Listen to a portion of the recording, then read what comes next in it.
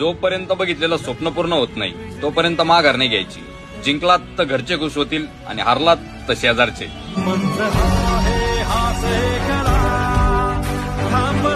जो इथे संपला.